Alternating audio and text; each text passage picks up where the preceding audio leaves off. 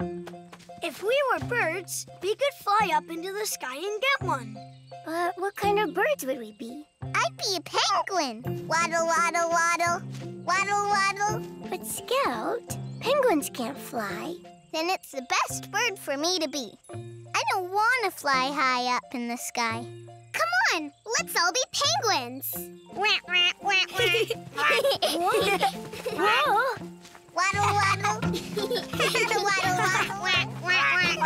Waddle, waddle.